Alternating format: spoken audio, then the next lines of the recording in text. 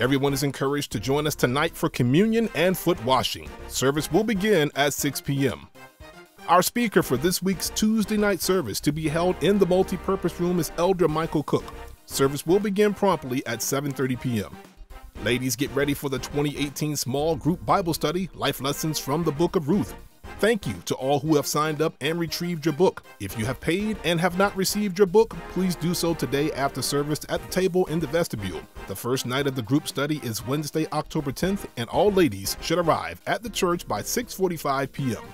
Ladies, join First Lady Wooden for the monthly prayer call to be held Thursday, October 11th at 6 a.m. Continue to press forward in prayer and send all prayer requests to UR underscore women at powooden.org.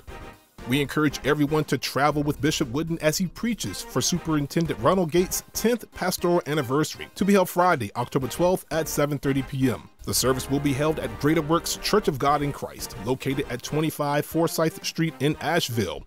To reserve a seat on the bus, send an email to Marilyn underscore 518 at yahoo.com. The bus will depart at 3 p.m. from the back parking lot.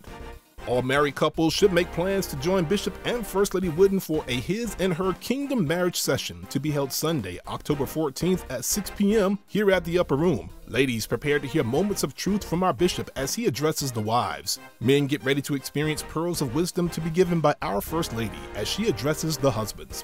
We look forward to seeing you there. The food bank staff and volunteers, along with the Sunday school department, will have their end of summer celebration on Friday, October 19th at 6:30 p.m. To attend, please see Elder Dorothy Miller or one of the Sunday school assistants. Food bank staff and volunteers should see Deacon Joseph Morgan, Sister Lisa Jones, or Evangelist Marilyn Wagner. Mark your calendars for the next NC Third Call meeting to be held Saturday, October 20th at 10 a.m. here at the Upper Room. For additional information, send an email to nc3rd at powooden.org. Hurricane Florence left considerable damage in the state of North Carolina. If you desire, you may donate financial support via the Upper Room or NC3rd Easy Tithe app. Select the Hurricane Florence relief option so that your support will be properly earmarked.